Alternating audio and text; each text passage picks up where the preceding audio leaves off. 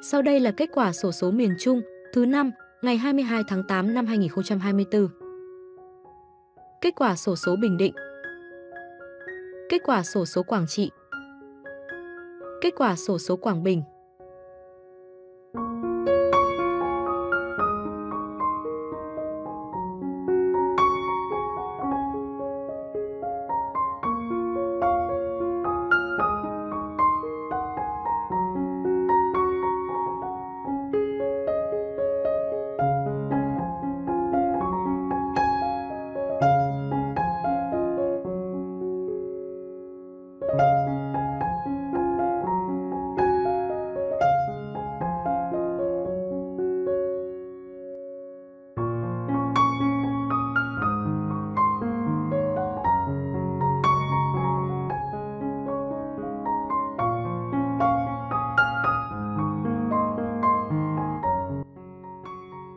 Kênh sổ số 3 miền, kết quả sổ số hôm nay, xin chân thành cảm ơn quý vị và các bạn đã theo dõi kết quả sổ số ngày hôm nay.